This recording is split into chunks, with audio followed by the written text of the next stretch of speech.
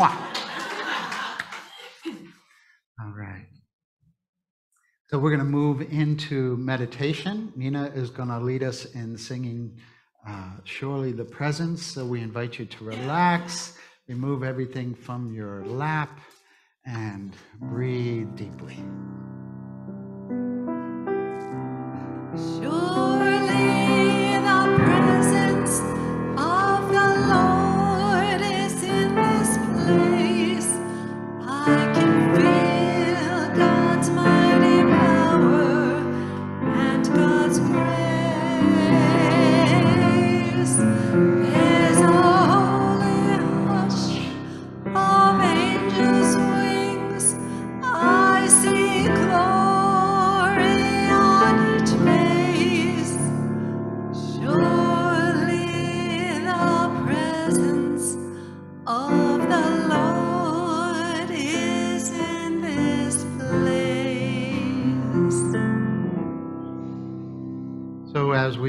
deeper into this time of conscious contact with the Lord of our being, I invite you to breathe deeply, soften your body, and breathe.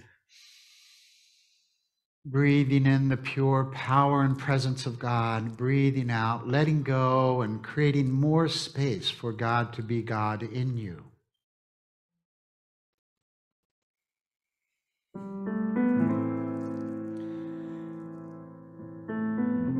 Breathing in love.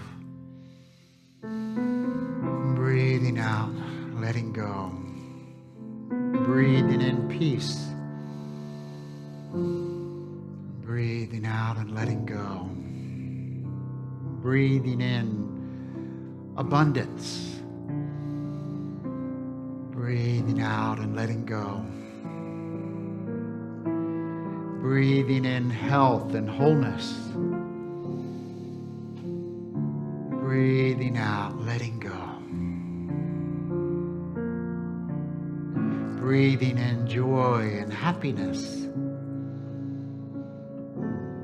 And breathing out, letting go. Meditation is a opportunity for surrender, an opportunity to let go, to release our own judgments and fears and worries and opening up to a divine idea an idea of love and peace and harmony and joy that replaces any fear or discordance or idea that we are separate from one another or from God.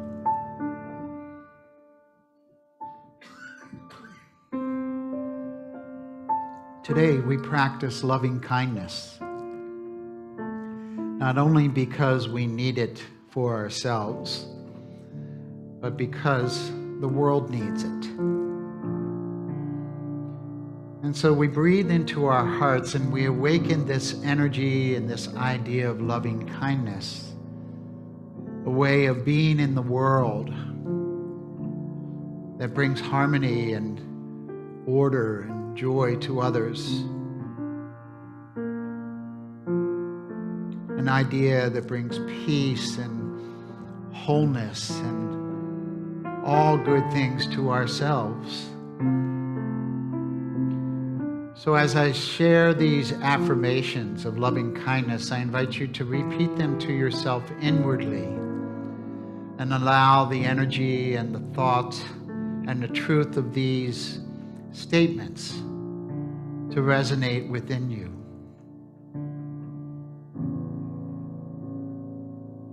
And we begin with ourselves by affirming these statements for ourselves as we awaken these ideas within us, and then we can give them away to others.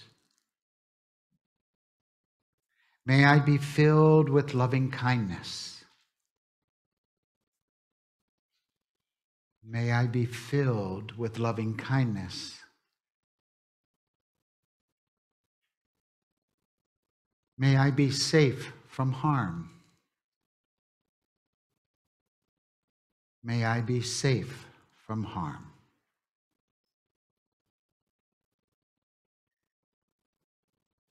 May I be healthy and well. May I be healthy and well.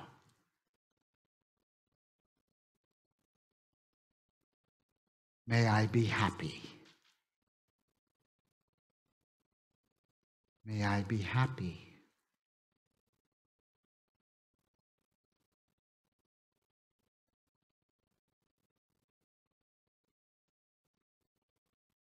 And as we allow these statements and this truth to wake up within us, we open our hearts wider to include a loved one, to include our friends and families, and bring an Im- image of them into your mind's eye and let us affirm May you be filled with loving kindness. May you be filled with loving kindness. May you be safe from harm. May you be safe from harm.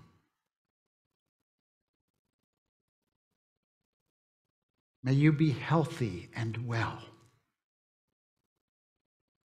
May you be healthy and well. May you be happy. May you be happy.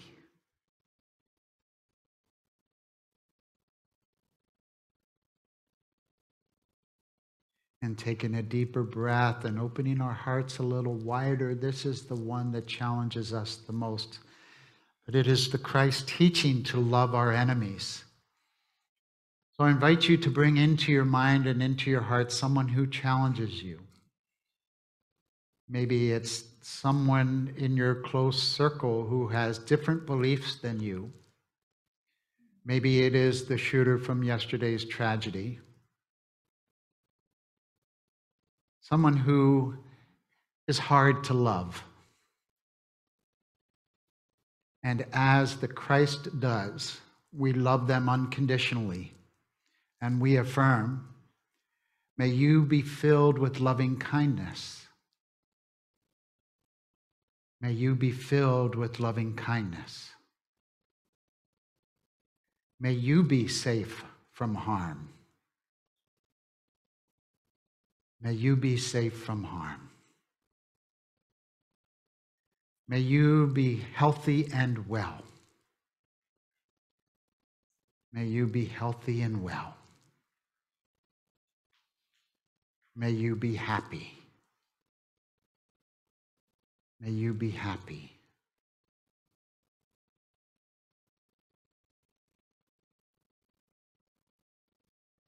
And taking a deeper breath and opening your heart as wide as the world. This time we include all beings two legged, four legged, winged, those that creep and crawl on the earth or swim in the oceans and fly in the sky. All living beings. May you be filled with loving kindness. May you be filled with loving kindness. May you be safe from harm. May you be safe from harm.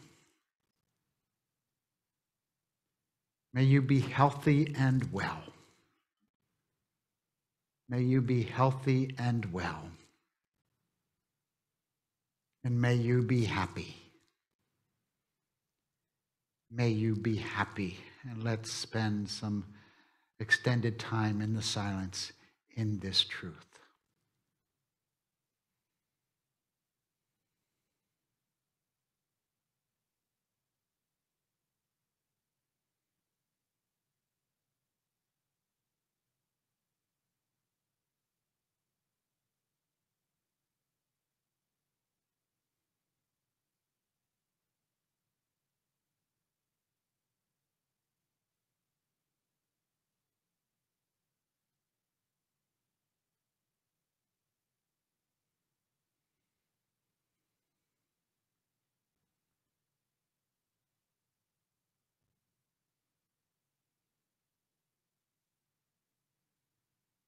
And as we gently bring our awareness back to this time and place, being blessed by these affirmations, I ask you to affirm them after me out loud. I am filled with loving kindness. Together? I am filled with loving kindness. I am safe from harm. Together? I am safe from harm. I am healthy and well. I am healthy and well. I am happy. I am happy. We give thanks and we pray all of this in the name and in the nature of the indwelling Christ presence. And so it is. Amen.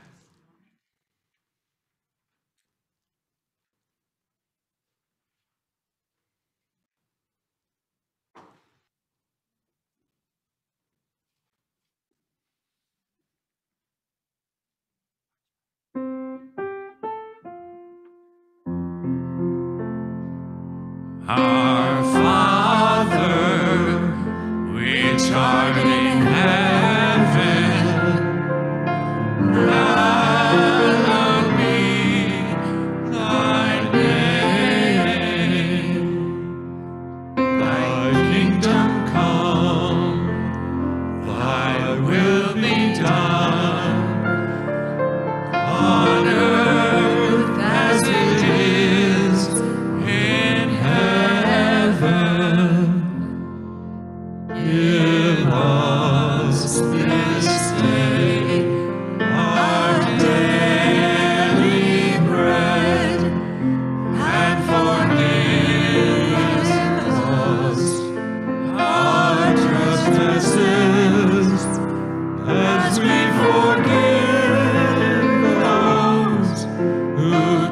trespass against us. And lead us not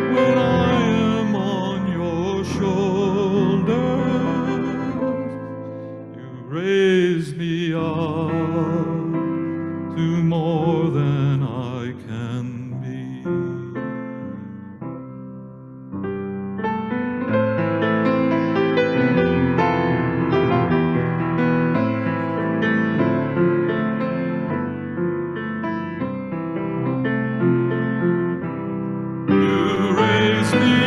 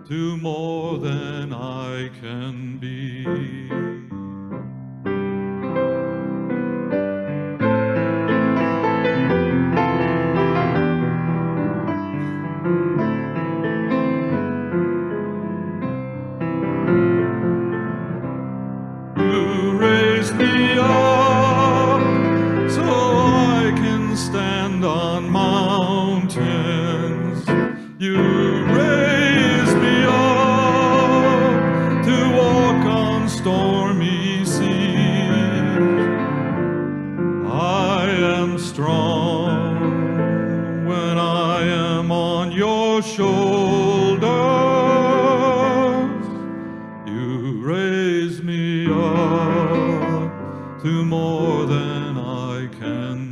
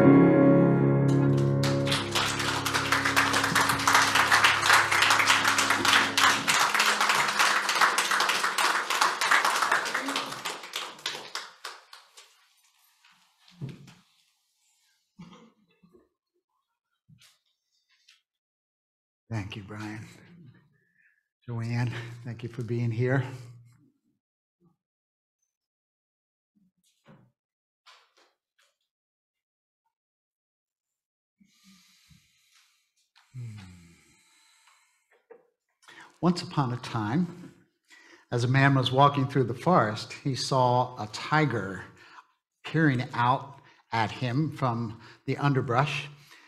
And as the man turned to run, he heard the tiger spring after him to give chase. Barely ahead of the tiger, running for his life, our hero came to the edge of a steep cliff. Clinging onto a strong vine, the man climbed over the edge just as the tiger was about to pounce. Hanging over the cliff, the side of the cliff, with the hungry tiger pacing above him, he looked down and to his dismay saw another tiger down there at the bottom of the ravine. And all of a sudden, at that time, he saw this little mouse come out of the rocks and started to gnaw on the vine that he was hanging onto. And at that precise moment, the man noticed a patch of wild strawberries growing out of a clump of earth right there on the edge of the cliff. Reaching out, he plucked the strawberry, and it was perfect, perfectly ripe, warmed by the sun. And he ate it. And it was the most perfect, delicious strawberry he had ever had. End of the story.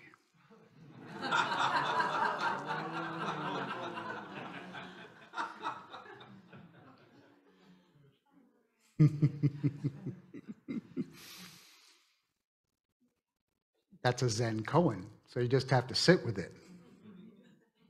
Think about all the scenarios that are going on, right? What's going to happen? Is the vine going to break? The tiger going to get him from below? Is he going to crawl back up and the tiger's going to get him from above? Or is some miracle going to happen where he lets go and he flies off and all is well? Yeah, so this is how we think, right? We we have anxiety about the future, we have worry about the past, or we can be in the present moment, in the here and now. This is the place where God is, in this moment, in the taste of that perfect strawberry. That is the eternal moment, and life is made up of these eternal moments, right? Our work is to stay in this eternal moment to where the full presence of God is. And from this, this place, from that wisdom, we are informed with what the next step is for our lives. And that's our work, right? It's, it's, and sometimes it's challenging. Think, we think about how much from the past affects what happens in the in the present moment and then we worry about the future and i am as guilty as anybody about having those kind of thoughts you know i think about aging as i turn 62 years old this year and my body is a little bit different than it used to be i played golf on friday and i spent the afternoon healing from around the golf got my ice packs out and that was it. I was done for the day. Of course, I haven't played in three or four months. So, you know, just putting my body through those motions was interesting. But, you know, it's different than when I played around a round of golf, you know, 10 or 20 years ago, where I was ready to play again the next day. So I worry sometimes about my body as, as much as I do to take care of it. It's still this aging process that uh, I haven't seemed to be, be able to change. I'm having that experience. And I have worries about what our world is going through. You know, we're living in a different world. And I see you shaking your head. Those of us who have a couple, few more years behind us know that this, this world is just different. And it's different for our young people. You know, the technology, the things that happened yesterday. Yes, those things have been happening for a while, but they seem to be, that's the third or fourth random shooting that has happened in a supermarket in the last year in our country. These things, it's different. And uh, I worry about for my child and for other for kids, you know, what is the world that they're they're growing up in? So I'm, I'm not, I, I'm, I'm still susceptible to having those thoughts and worrying about the future. As you know, we are in transition in this ministry, and we worry about what's going to happen with this ministry. Where are we going to be in a few months? Where will our services be held? And, and all the questions that come along with that. You know, I have these moments when I worry about that. But I also remember that this is the time and place where God is. This is the time and place where the solutions are. Because the solutions are in God, and God is in this moment. So, the spiritual journey is, for me, about get, getting closer to that presence of God. And it's really something I just do in my mind and in my consciousness because there's no place we can be that is outside the circle of God's love. But my work is to remember that and to remember my oneness in God and not the separation that the world brings about. So last week I saw this piece about what is happening in the churches and in the evangelical, more fundamentalist churches and what this report was about that people are flocking from the evangelical churches into a more even further forgive the political term, but further right, further more into more fundamentalism, which means that they're believing more in what's going on in the political discourse and in the material world and moving away from the roots of the mystery of their spiritual and religious teachings. This is what's happening. There are books written by people who are inside that movement who are seeing it happen, that we're believing more in what's going on in the world than our faith allows us to believe in the perfection of God's plan and God's dream for the world. And so I, I, think about the, the thinking that is behind that. What is the thinking that people are believing more in separation, more in, uh, I don't know, how, how an 18 year old can do what he did yesterday, believing, you know, he wrote a manifesto about it, believing this, this conversation that people, because their skin color is different, that they are different and not as worthy of God's love as they are. I mean, this kid is going to be locked up for the rest of his life because he believed that. Someone taught him that and he believed it. And it's not true. It's not true. The color of your skin doesn't make you less worthy of God's love. We're all created in the image of God. So these stories and these beliefs, we have to stand up to the truth and we have to remember that we are all children of God, worthy of God's love.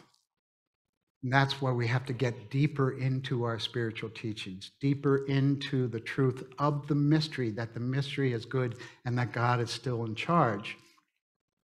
There's a term that we use, it's, it's similar to unity, and it's called non duality. And non duality is about believing in our oneness in God. Not that there is God and us, that there is only God, and we are all part of it. Non duality is a, a, a, a, philosophy which says that there is just one eternal spirit in existence and that everything in the universe is, in, is an inseparable part of it. Just one eternal spirit in existence, and that everything in the universe is an inseparable part of it. Sorry, that's hard words for me to say but not hard words for me to believe. Non duality is the experience of intimacy with all things, a sense of identity with the entire universe. In this experience, the sense of being a witness or seer of things vanishes completely, and instead, you feel yourself to be whatever you are beholding. You don't see the mountain, you are the mountain. You don't hear the music, you are the song. And so it's that sense that we're, we're all one, we're all together in this beloved energy of God, that we're held in this energy of God. So it's kind of like if you imagine the sky and it's hidden by the clouds of all the different shapes and sizes, and these clouds constantly move and change their shape. And it is only when they disappear and disperse that you can see the blue sky. But the blue sky is always there and it doesn't change. It's only the clouds that give us the illusion that something has changed. And so it is with thoughts of separation, of thoughts of difference. When we, when we think that stuff, it's just an illusion because we are one in God. And that is our spiritual work to get back to that oneness, to feel that love, to know how blessed we are in every moment. And this is why Jesus is our way shower and teacher and elder brother, because he knew it. He knew it when he said, I and my Father are one. I and my Father are one. And he came to teach us that. He came to teach us our oneness in God, that there is no separation, Jesus also said it this way If anyone boasts, I love God, and goes right on hating his brother or sister, thinking nothing of it, he is a liar. If he won't love the person he can see, how can he love the God that he can't see? The command we have from Christ is blunt. Loving God includes loving people. You've got to love both. Because loving a person is loving God. Right? And if you can't love that person, you're not loving God. It's simple, it's clear. And I don't know what's happening.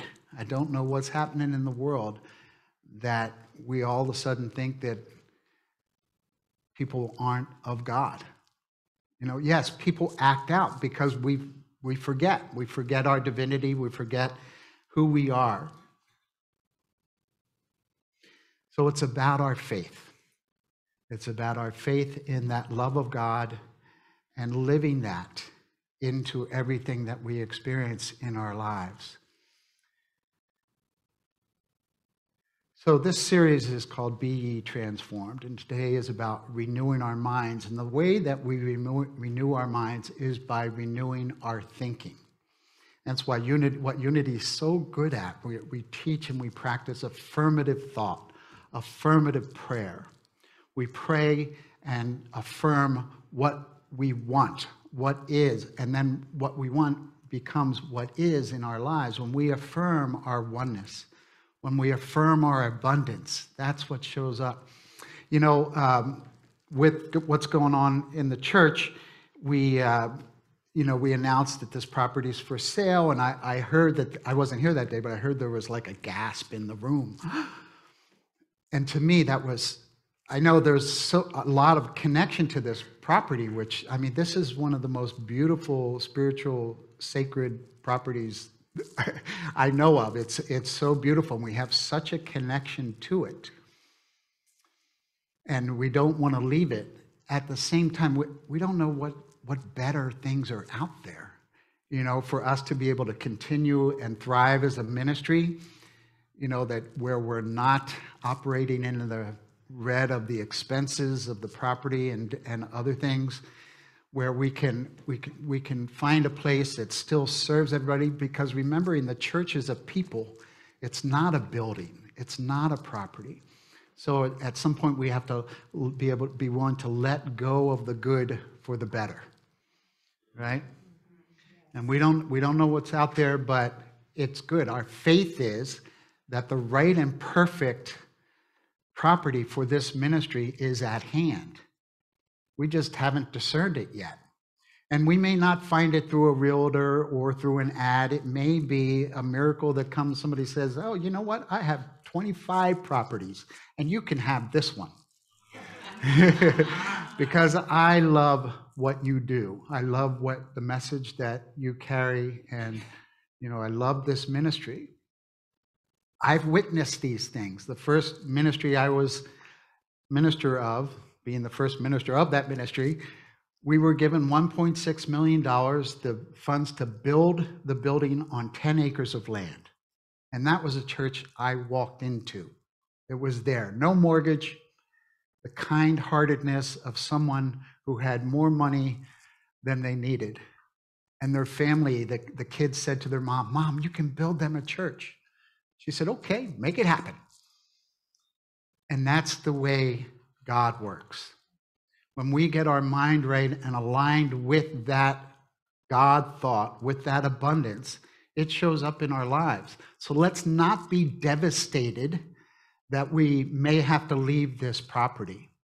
Let's be open to the good. And the same thing in your lives, whatever your challenges is, whether it's a health challenge, a financial challenge, a relationship challenge, affirm the love of God, the abundance of God, and allow that to come into your life and manifest. That's what we do. That's how we get our minds right around this spiritual practice of, of, of, of affirmative prayer. Earl Nightingale said it this way Why do we become what we think about? Well, I'll tell you how it works as far as we know. To do this, I want to tell you about a situation that parallels the human mind. And I love the song that we did, uh, the garden song speaks to this. Suppose a farmer has some land and it's good, fertile land. The land gives the farmer a choice. He may plant in that land whatever he chooses. The land doesn't care. It's up to the farmer to make a decision. We're comparing the human mind with the land because the mind, like the land, doesn't care what you plant in it. It will return what you plant, but it doesn't care what you plant. Now, let's say that the farmer has two seeds in his hand. One is a seed of corn, the other is a nightshade, a deadly poison. He digs two little holes in the earth and he plants both seeds, one corn, the other nightshade. He covers up the holes, waters and takes care of the land. And what will happen? Invariably, the land will return what was planted. The Bible tells us, as we sow, so we shall reap. Remember, the land doesn't care. It will return poison in just as wonderful abundance as it will corn. So, up come the two plants one corn, one poison.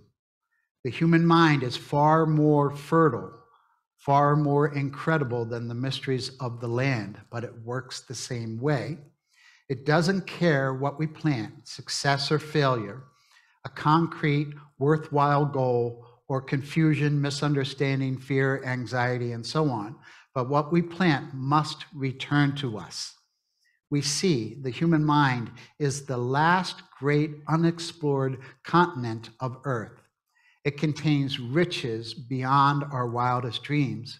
It will return anything we want to plant.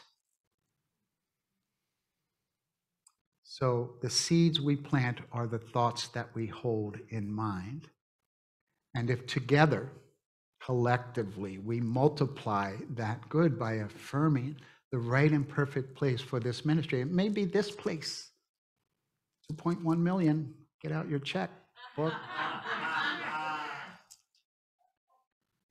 It may be this place, it may be something better. So, if we can hold that thought in mind, this is what we're going to experience in our lives. Hypatia Hasbrouck, a unity minister, wrote it this way Positive prayer is the way to form a permanent attitude of mind that reflects the eternal, benevolent activity of God, so that we may truly express our nature as children of God, created in God's image to express God's likeness here on earth.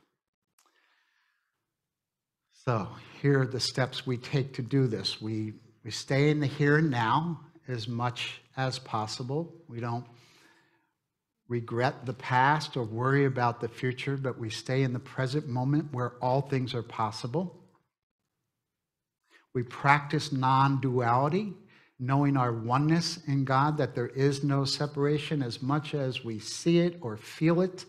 We know that we are one in God and we love each other like you like like the other is you there's a um, a yoga teaching that says just that the other is you so you know what we do to the other is what we experience and what the other does is what they experience that we are one there's only one of us in the mind of god so we learn to practice loving each other as if they were god what would that be like for you? Especially those who challenge us the most. That's what Mother Teresa did, right? How did she do the work that she did her entire career? Was that she saw the face of God in every homeless person, every AIDS stricken body she picked up that was laying in the gutter, filthy, disgusting. She saw the face of God in them. And it was that love and that idea that helped those people to have some dignity and maybe to live and uh, turn their lives around. So, stay in the here and now, practice non duality, and love each other, and see the face of God in everyone. I want to close with this uh, scripture from Paul from Philippians. Summing it all up, friends. I'd say you do best by filling your minds and meditating on these things true, noble, reputable, authentic, compelling, gracious, the best, not the worst, the beautiful, not the ugly, things to praise, not things to curse. Put into practice what you learned from me, what you heard and saw and realized. Do that, and God, who makes everything work together, will work you into the most excellent harmonies. Gospel according to Bob and Ted. I'm glad somebody got it. But that's actually written by Paul. And what I love about this, this is where the rubber meets the road. Paul was in prison when he wrote that. Imagine being in the worst circumstances of your lives and having the attitude to look for the good, to pray and pay attention to the things that are right in the world. I love the idea of like catching your children doing something right. You know, so often we get a mindset where we're always correcting and redirecting. Catch people doing something right and celebrate that. So here we are in one of the most beautiful church campuses that we know of. And yet there is something even better out there waiting for us. And again, it could be this, and it could be something else. But if we hold to that truth, letting go of our attachment to fear or worry or lack, we're going to manifest something amazing. And not only can we do that here as a community, we can do that in our own personal lives. So let's take a moment to know this inwardly. So, dear loving Father, Mother God, as we breathe into this space and into this moment, we feel your love. We know your truth, that we are divinely blessed, that all things are working for our good. So we are open and receptive to receive the kingdom, to receive the blessings of creation, to manifest them in our lives and in this ministry and in the world. And as we do this, we know that peace will prevail. We know that love will prevail. We give thanks and pray this in the name and in the nature of the indwelling Christ presence. And so it is. Amen.